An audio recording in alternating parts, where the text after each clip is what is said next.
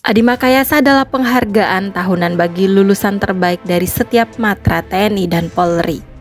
Penerima penghargaan ini adalah mereka yang secara seimbang mampu menunjukkan prestasi terbaik di tiga aspek, akademis, jasmani, dan kepribadian atau mental.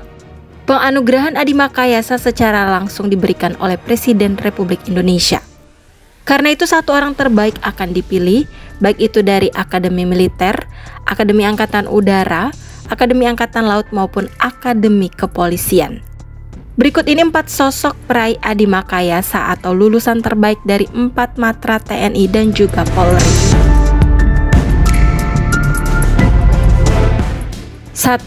Imade Aditya Wahyu Palguna Dikutip dari laman Praspa Akademi TNI, untuk peraih Adi Makayasa di Akademi Militer atau Akmil adalah Serma Tutar Imade Aditya Wahyu Palguna. Seorang taruna yang berasal dari Provinsi Bali.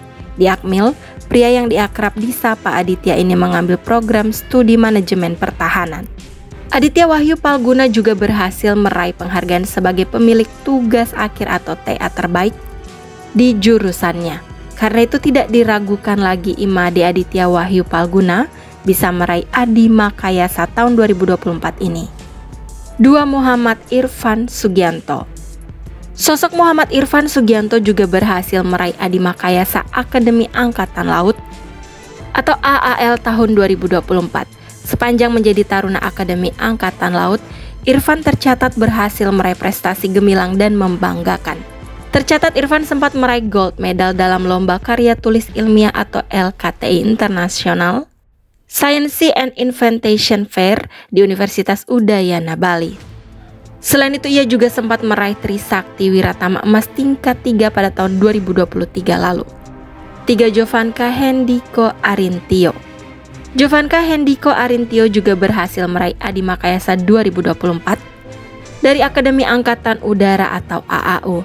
Taruna dari program studi MKP Penerbangan asal Bantul Yogyakarta itu berhasil menunjukkan prestasi gemilang selama menempuh pendidikan di Akademi Angkatan Udara.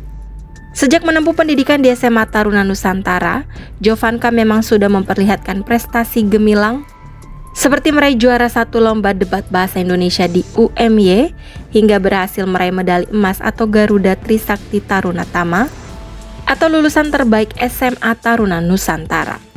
Sementara itu ketika di Akademi Angkatan Udara sendiri, Jovanka juga berhasil meraih penghargaan Trisakti Viratama, Tanggon Kosala Emas, Ati Tanggap Emas serta Dira Trengginas Perak pada tahun 2023 lalu yang diberikan oleh Gubernur Akademi Angkatan Udara.